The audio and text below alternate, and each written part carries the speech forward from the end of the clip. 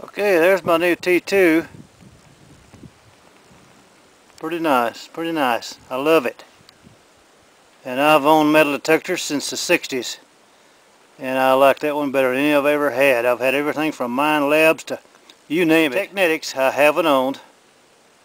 Made by Bounty Hunter and I thought they were toys, but uh, I guess they're not. Uh, I love this one. Anyway, that little stand there, I got off of eBay. Get them for 20 bucks. I was going to build one, but oh hell, I got to pay five bucks for the paint just to paint it, and all the parts. You got to run all over town looking for them.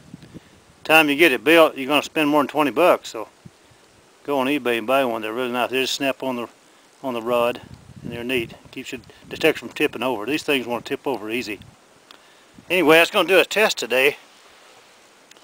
Uh, I've seen a lot of tests on uh, uh, the recovery speed, which is great. But I want to know how well it'll pick a coin out of uh, trash. You know, iron, whatever. But uh, mostly iron. Where I hunt is a lot of iron. But I'm going to find out. And later on I'll do another one. I'll bury them out here in my garden. I got a garden right out here. Uh, test garden. Right now it's all froze. And uh, Anyway. Okay, we got a square nail and a quarter. And uh, I'm going to spread them out a little bit. And listen to that. Okay, I got to set the detector up. Uh, I don't know if you can see this or not. Uh, uh, this is kind of hard to do anyway, I'm going to set the, I'm going to set it up, uh, uh, let me see, discriminant mode, and sensitivity, I'm going to turn that to like 70, and then uh, discriminant level, zero, zero, okay, tones, plus two. 2 plus. Okay. Me ground balance it here. Okay. Now, you'll hear the iron, it'll be a grunt.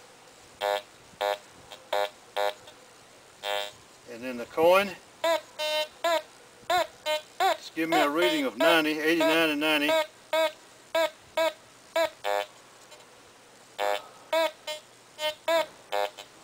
Across it goes uh, iron, coin, coin, iron.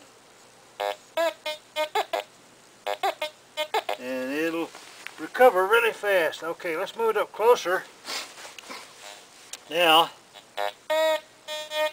same thing, iron, coin. Fast, really fast.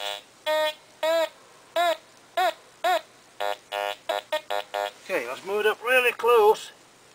Now, which one will it pick up? The coin.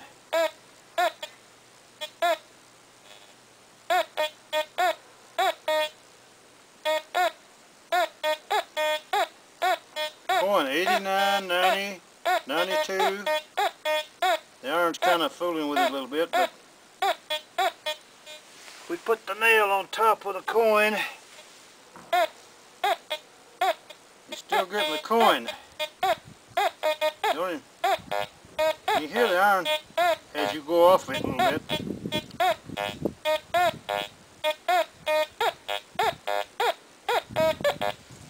Okay, let's put the coin on top of the nail.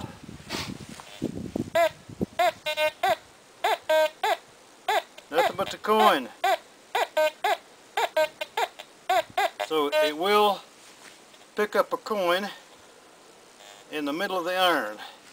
Later on I'm going to do one and I'm going to bury them down the ground about six inches and whatever and uh, see how well it does then and I'm going to change it all around the iron in different places and the and the coin in different places and just see how that works and the coin in the same hole the iron and see how that works anyway that tells you uh, with no discrimination, you can hear the iron.